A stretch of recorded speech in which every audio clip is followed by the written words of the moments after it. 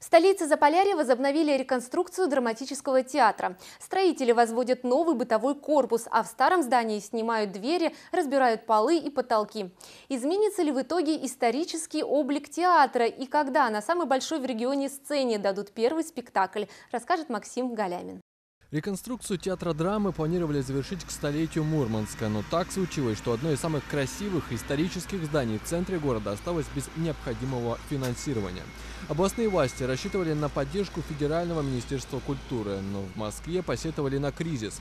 Так драмтеатр превратился в долгострой, обнесенный забором, который лишь частично скрывал трагический вид пустых окон. В рамках празднования столетия Мурманска нам это финансирование получить не удалось.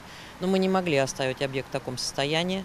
Мы приняли решение его реконструировать за счет средств областного бюджета. Но надежды на получение федерального финансирования мы не оставляем и делаем все необходимое для того, чтобы это финансирование получить. Все изменилось весной в региональном правительстве. Нашли необходимые для проведения работ средства. Это около 650 миллионов рублей.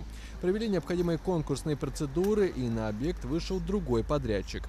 Фирма имеет немалый опыт работы. Специалисты организации, например, реконструировали Мурманскую филармонию. Для филармонии, безусловно, некой изюминкой, и вообще мы только об этом мечтали, стал орган. Здесь, может быть, каких-то вот таких э, принципиально новых в театральном искусстве трудно что-то придумать, но уровень технического оснащения будет соответствовать вот, значит, завер... к концу второго десятилетия 21 века. На стенах бывшего гардероба в фойе еще можно найти старые афиши. Их строители пока снимать не стали. Но в отличие от лестниц, витражей и мозаики, печатный раритет точно окажется на свалке. Впрочем, будущие зрители вряд ли об этом пожалеют. Их ждет совершенно новое пространство в холле и круглая сцена в основном зале, на которой без труда смогут разместиться 120 музыкантов Мариинского театра. Мы подготавливаем помещение а, к установке нового оборудования, подготавливаем его к прокладке инженерных сетей, выполняем комплекс работ по приведению его а, в соответствии с современными требованиями к доступности. То есть в нем будут располагаться и уже сейчас выполняются эти работы по устройству лифтовых шахт. А вот облик самого здания никак не изменится. Даже панно, как говорят работы самого Эрнста Неизвестного, останется в первозданном виде.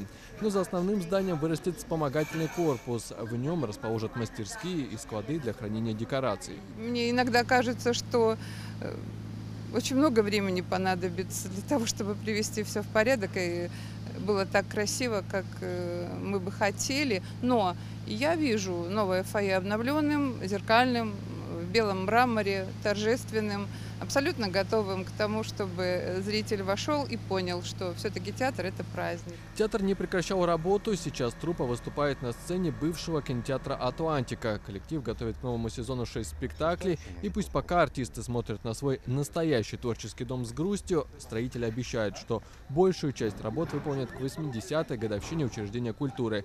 Юбилей драмтеатр будет отмечать в 2019 году.